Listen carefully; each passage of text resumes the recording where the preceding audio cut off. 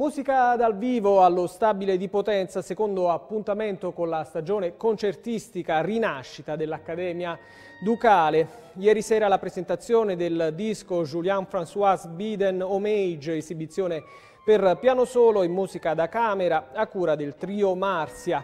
A eseguire i brani in questo omaggio al compositore, pianista jazz contemporaneo, Erminia Nigro al clarinetto, Giuseppe D'Amico al contrabbasso, Lucrezia Merolla al pianoforte. Un'esibizione apprezzata dal pubblico presente, prossimo appuntamento con la grande musica classica tra una settimana, precisamente l'11 ottobre, sempre a Potenza e sempre al Teatro Stabile.